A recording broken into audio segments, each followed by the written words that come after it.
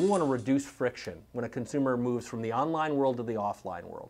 In order for us to do that, we need to provide products, services um, to dealers that actually help them communicate with consumers. Again, we know that more than half of all consumers are visiting Kelley before they buy a car.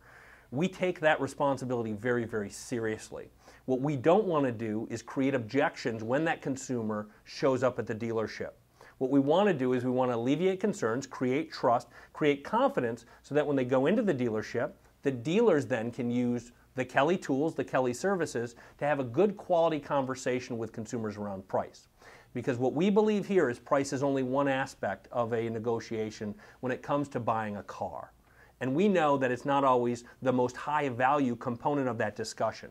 What we want to do is we want to provide consumers and dealers a platform so that they can have a good quality conversation around price, put that to the side, and then talk about the aspects of the sale that are really important. Build value in the product, build value in the service, build value in the dealership itself.